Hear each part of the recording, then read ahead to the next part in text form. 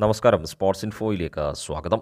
ഏറെ വലിയ പ്രതീക്ഷകളുമായി കേരള ബ്ലാസ്റ്റേഴ്സ് ഇന്ന് കളത്തിലിറങ്ങുകയാണ്.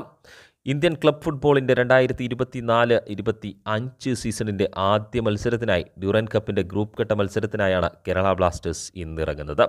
പുതിയ പരിശീലകൻ മിഖായൽ സ്റ്റേറയുടെ കീഴിൽ കേരള ബ്ലാസ്റ്റേഴ്സ് ഇറങ്ങുന്ന ആദ്യ മത്സരം എന്ന പ്രത്യേകതയും ഇന്നത്തെ മത്സരത്തിനുണ്ട്. ഇന്ന് കൊൽക്കത്തയിൽ വെച്ച് മുംബൈ സിറ്റി എഫ് സിയെയാണ് കേരള ബ്ലാസ്റ്റേഴ്സ് നേരിടുന്നത്.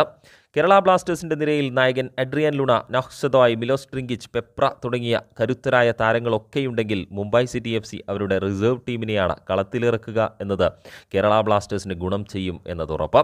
അതുകൊണ്ട് തന്നെ വിജയത്തോടെ സീസണിന് തുടക്കം കുറിക്കാനാവും എന്ന് തന്നെയാണ് പ്രതീക്ഷയും.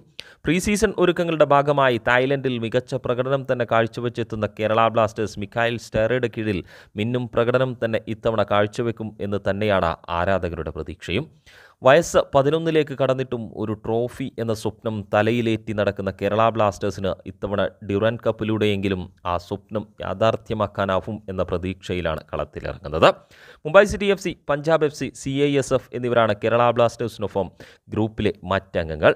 പരിക്കേറ്റ ജോഷുവ സൊട്ടീരിയോയും വിപിൻ മോഹനും ടീമിലില്ല എങ്കിൽ ഗോൾ കീപ്പർ സച്ചിൻ സുരേഷ് പരിക്കുമാറി ടീമിനൊപ്പം ചേർന്നിട്ടുമുണ്ട്. പുതുതായി സൈൻ ചെയ്ത പ്രതിരോധപടൻ അലക്സാണ്ടർ കൊയേഫ് അടുത്ത ആഴ്ച മാത്രമാവും ടീമിനൊപ്പം ചേരുക എന്നും ക്ലബ്ബ് വ്യക്തമാക്കിയിട്ടുണ്ട്.